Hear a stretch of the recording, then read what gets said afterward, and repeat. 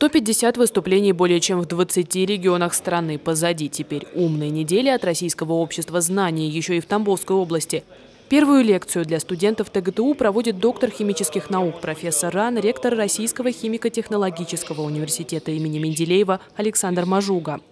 Такие встречи, э, они э, мотивируют ребят на занятия наукой, на поиск своей профессиональной даже роли э, в области науки высоких технологий.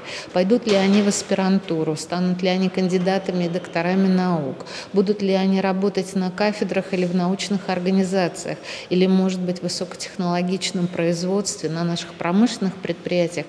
Тамбовские техуниверситеты РХТУ под руководством Александра Мажуги связывает давнее сотрудничество. А вот сам ученый в Тамбове впервые.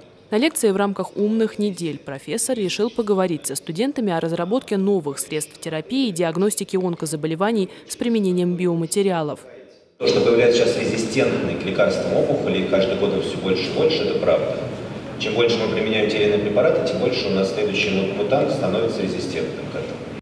Студентка технологического института ТГТУ Нина Коняхина уверена, это должно быть интересно всем вне зависимости от рода деятельности. Сама же третьекурсница мечтает стать инженером на одном из предприятий областного центра. Знания в области биомедицинских технологий при этом считает совсем не лишними разработать ведь новые лекарства, их нужно будет каким-то оборудованием доставлять в организм, и наш, э, наше предприятие, возможно, тоже сможет как-то в этом поучаствовать, какие-то детальки или механизмы туда произвести.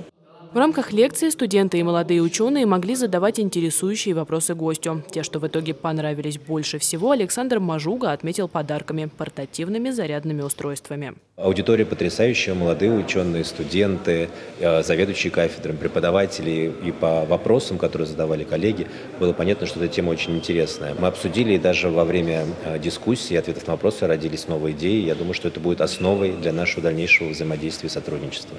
Завтра в рамках «Умных недель» в ТГДУ пройдет еще одна лекция. Ее проведет директор инновационно-технологического центра МФТИ Максим Кучеренко. Студентов обещают научить, как реализовать собственные крупный предпринимательский проект мирового масштаба. Юлия Саушкина, Олег Осипов, Ольга Кириллова. Область новостей.